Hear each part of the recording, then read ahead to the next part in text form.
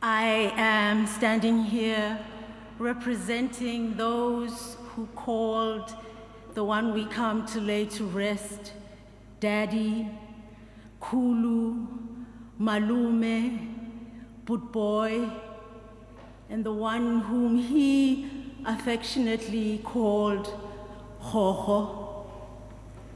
I am standing to convey our family's thanks for the many ways in which all of you have stepped forward to tell us of how much you loved Daddy.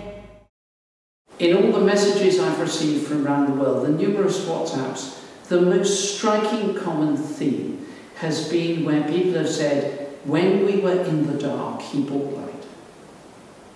And that light has lit up countries globally that were struggling with fear, conflict, persecution, oppression, where the marginalized suffered.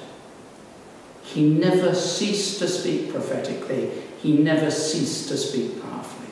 He never ceased to shed light. If Archbishop Desmond Tutu were here, he would have said, Hey, hey, why are you looking so glum, so unhappy? He would have wanted to elicit a smile, a laughter from amongst all of us.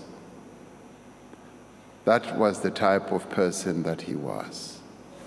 His friend Nelson Mandela put it perfectly when he said, sometimes strident, often tender, never afraid, and seldom without humor. Desmond Tutu's voice will always be the voice of the voiceless.